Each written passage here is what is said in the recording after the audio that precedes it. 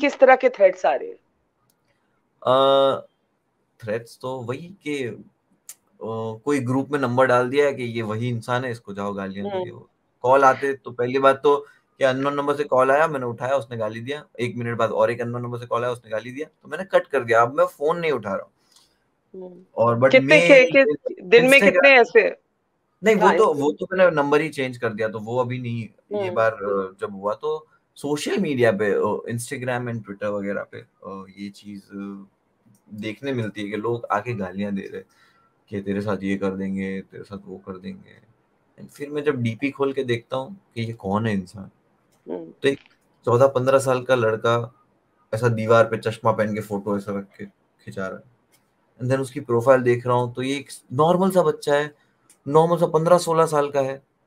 और एंड सोचता हूँ कि ओके यार ठीक है ये खाली गुस्से में है या उसको पता नहीं है कि ये नहीं बोल सकते? हम्म। और फिर कोई देखता हूँ तो फिर कोई एक थोड़ा फिर कोई हेट भेज रहा है तब मैं उसकी प्रोफ़ाइल देखता हूँ तो वो थोड़ा मिच्योर बड़ा आदमी दिख रहा है बट उसका सोशल मीडिया सिर्फ़ हेट से भरा हुआ है।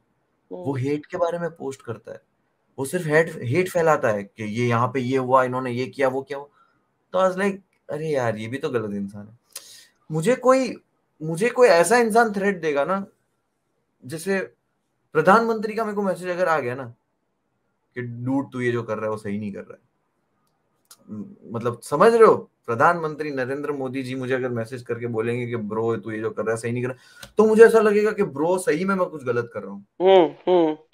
तो वो वो बंद वो लेवल पे जो होदे पे है तो उनकी बात का वज़न है ना मेरे सामने। बिल्कुल बिल्कुल। यार ये ये इंसान अगर बोल रहा है तो सही में मैं कुछ गलत कर रहा हूँ ये होदे का इंसान ये एक्सपीरियंस का इंसान अगर ये बोल रहा है तो बट अगर मुझे वो हेट फैलाने वाला रोज सोशल मीडिया पे दस लोगों को गाली देने वाला अगर मेरे को गाली दे रहा धमकी दे रहा तो मुझे पता चलेगा ना कि तू तो गलत तू खुद गलत है हम्म। और तू तो पंद्रह साल का लड़का है तू कैसे बचा लेगा किसी धर्म को हम्म। तो मुझे ये चीज़ वहाँ पे वो लगती है और सेम टाइम मुझे पॉलिटिकल पार्टी वाले थ्रेड देते हैं उनका थ्रेड देने का तरीका कुछ अलग होता है तुझे शो नहीं करने देंगे वो नहीं करने तो मुझे ये लगता है यार तुम शो पे तो आओ तुम क्यों इस चीज़ के पीछे पड़े मेरा so you're not angry you're not angry. नहीं एंग्री क्या यार? मौत से क्या डरना? ज़्यादा मैं मैं दिमाग में एक ही चीज़ रखता हूँ ज़्यादा ज़्यादा क्या करेंगे? मार डालेंगे। ज़्यादा से ज़्यादा क्या कर सकते हैं? मार डालेंगे। इससे ज़्यादा क्या कर सकते इससे ज़्यादा कुछ कर सकते क्या?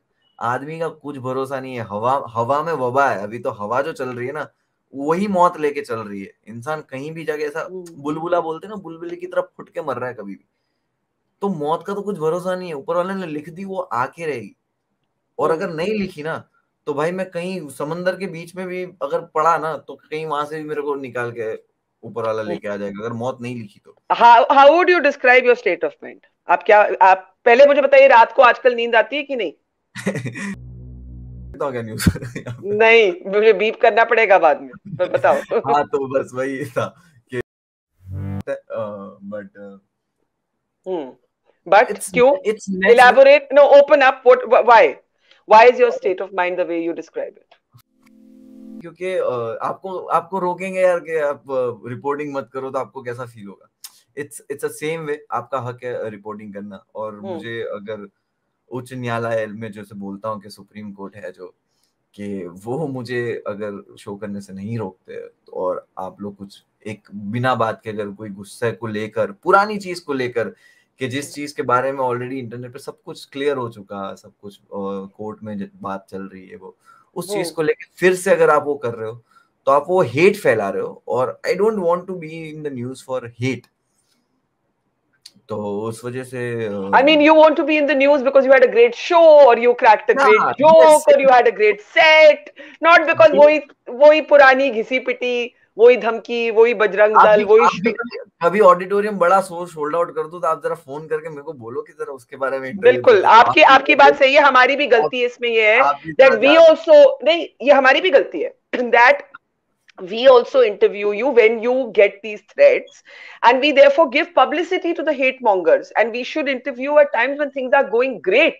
वो वो समय है and that's why I started by talking about your 50 great shows the 50 shows that were sold out हमें वो नहीं भूलना चाहिए but I think you made a very important point कि मुझे कोई बोले कि मैं जर्नलिस्ट ना बन पाऊं तो आई विल बी मिजरेबल मतलब मेरे मुझे लगा मेरी पूरी जिंदगी खत्म है so how are you still smiling when you the, what you love the most you are being stopped from doing what you love the most.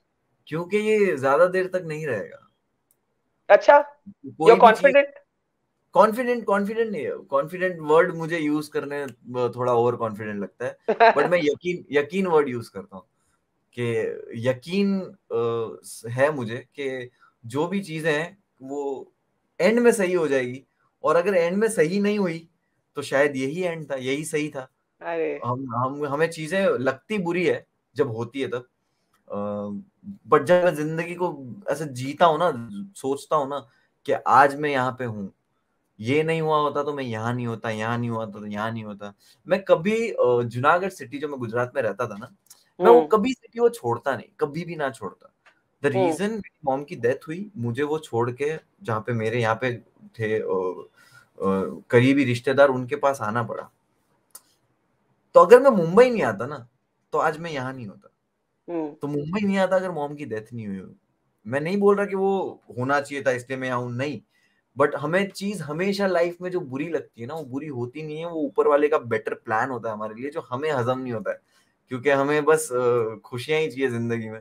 तो आपका यकीन आपकी यकी, आपका ये यकीन है कि ये जो हेट्रेड का का एक फ़ेज़ है वो खत्म हो प्यार करेंगे एक दिन एक दिन प्यार करेंगे वो लोग भी। एक दिन वो लोग भी प्यार करेंगे और समझेंगे इस चीज़ को।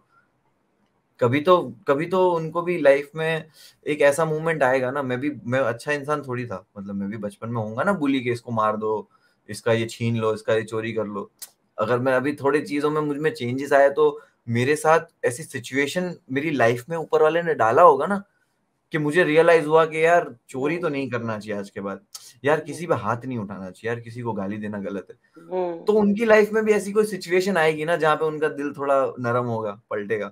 यार एन ऑप्टिमिस्ट उस दिन का इंतज़ार करेंगे और प्लस प्लस अगर ये चीज़ रहती भी है तो ये मेरे दिमाग तक ज़्यादा टाइम तक नहीं रह पाएगी। क्योंकि अगर मैं अभी परेशान हूँ मैं सो नहीं पा रहा हूँ या मुझे टेंशन हो रहा है आपने तो वो जवाब नहीं आपने जवाब नहीं दिया। मेरे सवाल का आजकल नींद आ रही है रात को?